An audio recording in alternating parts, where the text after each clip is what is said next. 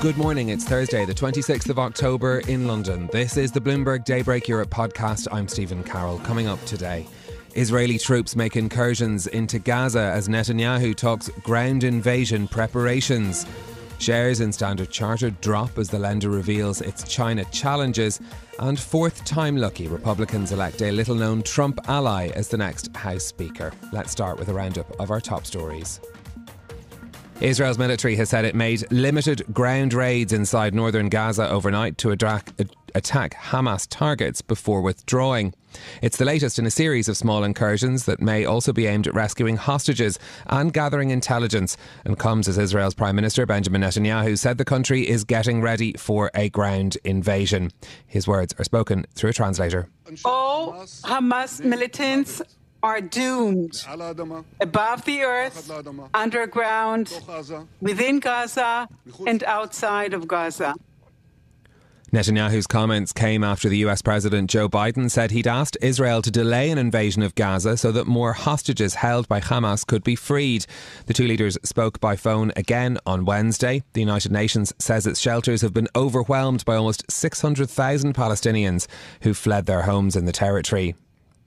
European Central Bank President Christine Lagarde says the battle against inflation isn't over, but she's confident it can be won. Speaking to Greek television ahead of today's ECB policy meeting in Athens, Lagarde said, quote, We are not done yet, adding officials must be very attentive to the risks. Despite the hawkish rhetoric, the central bank is today expected to hold rates steady at 4%. The pause would be the first in over a year. We'll bring you the decision live here on Bloomberg at 1.15 p.m. London time. Shares in Standard Chartered have fallen in Hong Kong after the bank reported lower than expected profits and charges related to investments in China. Pre tax profits at the Asia Focus Bank fell by 2% to $1.32 billion in the third quarter.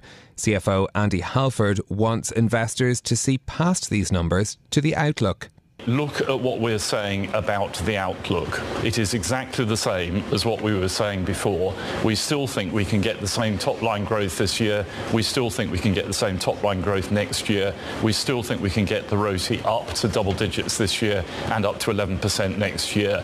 There will be a lot of focus upon the NIM, which was a little bit weaker today, but it is one component of many. The rest of the business is really performing very strongly. Halford pointed to brighter spots like operating income, which rose by 6% in the quarter, driven by an increase in lending income and wealth management, but provisions for loan losses increased, reflecting the uncertain trajectory of China's economy. BNP Paribas added to the list of European banks underperforming their Wall Street counterparts. Weaker than expected fixed income revenue saw bond the bond trading unit earn 12% less than last year, but the bank's CFO Lars Machenil told Bloomberg that they're still well placed for the coming year also look at pre-tax income in the quarter up 7%. If you look year to date, bottom line up 9%. If you add the share buyback that we've been doing, yeah. earnings per share up 15%. So don't zoom in on one thing, which was impacted by a high level of last year. Look at what we're doing in our diversified way, standing by our clients. And you can hear that full interview with the CFO of BNP Paribas, Lars Machenil, on the Bloomberg Talks podcast. The bank's overall net income came in at 2.66 billion euros, missing estimates. Its shares down almost 4% in early trading in Paris. Ted Pick will become Morgan Stanley's new CEO. He succeeds James Gorman after a 14 year run that reshaped the US bank in the wake of the financial crisis. More now from Bloomberg's Charlie Pellet. Pick is a three decade veteran of the firm and co president. In a statement, the bank said he will be elevated to the top role in January and join the board. The 65 year old Gorman will stay on as executive chairman. In tapping Pick, the firm is turning to the man credited with spurring a revival in its trading business after a perilous stretch during the 2008 financial crisis, a period when clients ditched Morgan Stanley and doubts about its ability to survive reverberated around Wall Street. Street. In New York, Charlie Pellet, Bloomberg Radio. Shares in Meta slid on after hours trading after the social media giant's CFO Susan Li said the revenue outlook is uncertain for the next year. The comments put a damper on an otherwise upbeat earnings report. The revenue is higher than expected. Meta shares initially climbed, but then slid by more than 3% in extended trading. And to US politics now, after 22 days, 14 candidates, and four nominees, the House of Representatives has a new Speaker. In the end, Republicans voted unanimously to install a little known Trump ally in the post. Louisiana Congressman Mike Johnson was a prominent supporter of efforts to overturn Joe Biden's 2020 election victory. Here's what he told the House after his election. They have been watching this drama play out for a few weeks. We've learned a lot of lessons, but you know what? Through adversity, it makes you stronger. And yeah. And and we want our allies around the world to know that this body of lawmakers is reporting again to our duty stations. Let the enemies of freedom around the world hear us loud and clear. The People's House is back in business. Johnson is an outspoken opponent of same sex marriage and a fervent advocate for cutting government spending. Well, let's turn to the Middle East now. The latest developments there overnight. The US president asking Israel to delay a ground invasion of Gaza to allow for talks over the release of, of hostages. Benjamin Netanyahu, though, reiterating his country was preparing a ground offensive as the uh, Israeli military has said that it carried out some limited incursions into northern Gaza overnight. Our head of Middle East and North Africa, Stuart Livingston Wallace, joins us now for more on this. Stuart, good morning to you. Can you just first of all start by, by taking us through these latest developments? What we heard from the Israeli military about uh, limited raids they carried out in Gaza? Yeah, good morning, Stephen.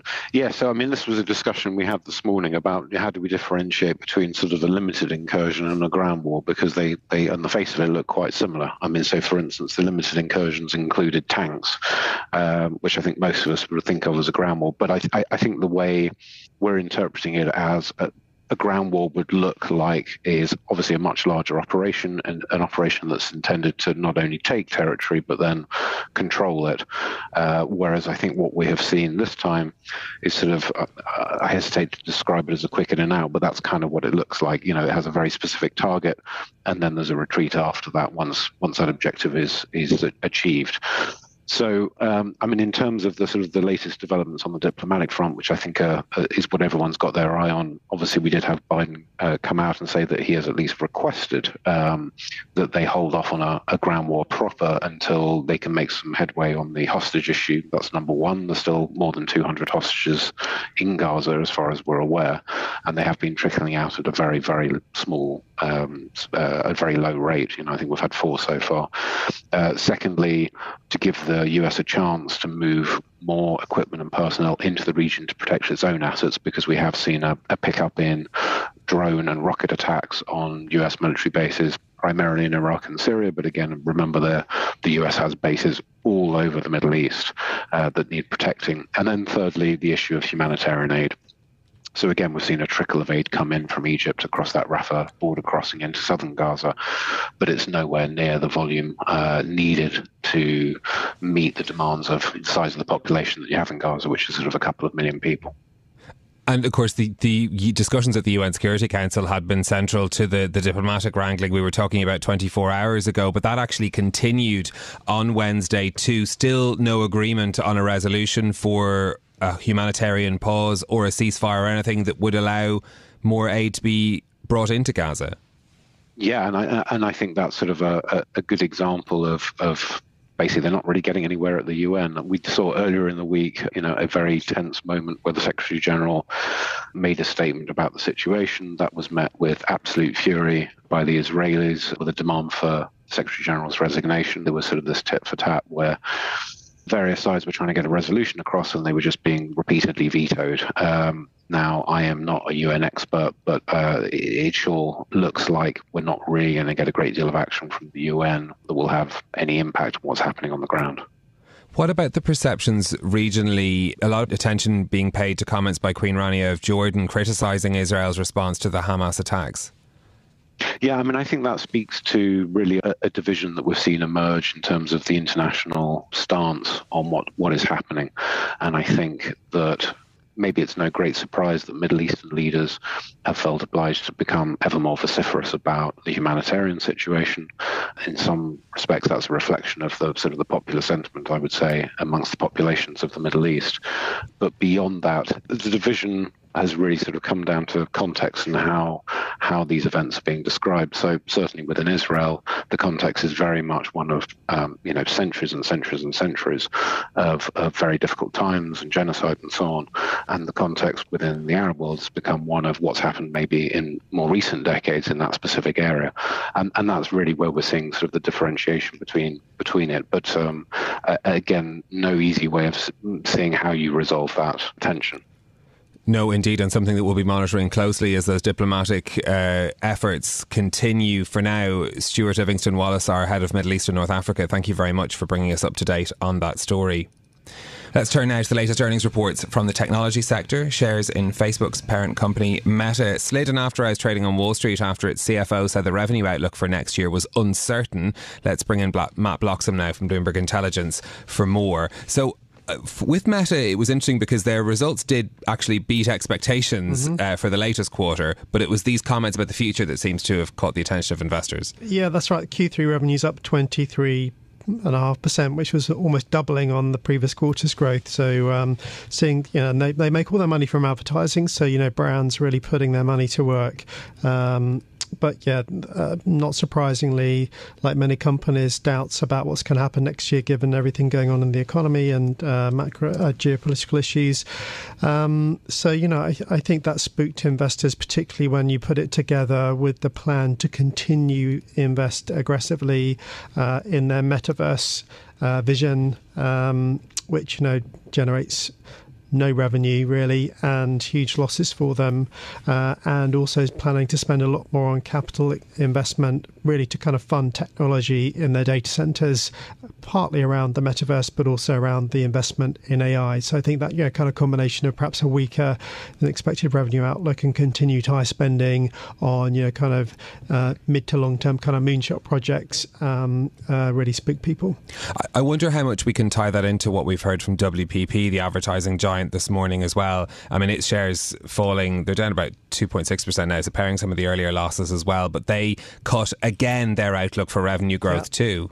Yeah, I, I think um, some of what's going on at WPP is company specific. They've chosen a very different strategy to some of their peers, uh, and they're also actually relatively weak in the US market, which continues to be the the kind of strongest market for, for kind of ad revenue, which kind of what drove Meta uh, in in Q3. But you know, there is a kind of broader you know set of concerns here that you know brand spending into 2024 is going to come under pressure um, because they're going to cut back to the, the, the, doubts about what's going on, and so that that that's kind of a general theme I think across all these kind of ad related businesses. Yeah, it was interesting with WP actually citing continued cutbacks from technology clients as being part of the reason that they led them to revise down their outlook too. If we look ahead, then the next big name to report, Amazon. What should mm-hmm. we be mm-hmm. watching out for with them? Yeah, so the, I think the big focus there is on the, the Amazon Web Services business, which is their market leading cloud business. That's what generates all of the profit for, for Amazon. So I think you know, the expectations there are for whether they can kind of hold the kind of double digit growth they saw last quarter in that business. That would be a positive sign if they can. Obviously, they're benefiting from the investments corporates are making in AI too. But obviously, there'd be spill across into their own fledgling advertising business, which is starting to encroach on the likes of uh, Meta and Google. Uh, and obviously, what's going on in their kind of online retail business and what they're saying about about the, the health of the, the, the global consumer um, into Q4 and beyond, because that, again, ties back to the fortunes for the likes of WPP and Meta and Google. Of course, the cloud business interesting, given that Google's outlook on their or Alphabet rather's outlook on their cloud business wasn't all that optimistic. That's right, and, and again, I mean, Amazon Web Services is by far and away the market leader in cloud, and I think what we're seeing, you know, Google's the, a, a distant number three, um, and I think Google's struggling a little bit to kind of uh, claw back market share from from AWS um, and from Microsoft, which is the kind of number two. Um, so I think yeah, the AWS business is a strong one. It's got really good client relationships, and you know, so, so maybe there's a bit of a disconnect there between the two. This is Bloomberg Daybreak Europe, your morning brief on the stories making news from London to Wall Street and beyond. Look for us on your podcast feed every morning on Apple, Spotify, and anywhere you get your podcasts. You can also listen live each morning on London DAB radio, the Bloomberg Business app, and Bloomberg.com. Our flagship New York station is also available on your Amazon Alexa device. Just say, Alexa, play Bloomberg 1130. I'm Stephen Carroll. Join us again tomorrow for all the news you need to start your day, right here on Bloomberg Daybreak Europe.